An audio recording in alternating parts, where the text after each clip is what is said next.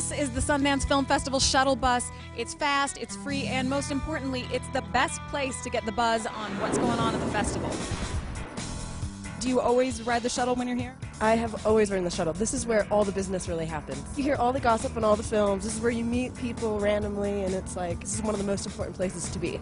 Networking on the bus is great. Filmmakers, producers, meet girls.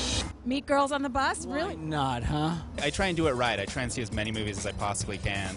This is just one day of the festival.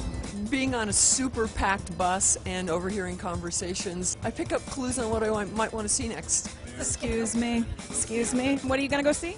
Uh, we're gonna go see Knuckle, then we're gonna go see Hobo with a Shotgun. Beats, rhymes, and life. Red State, whatever uh, my wife decides.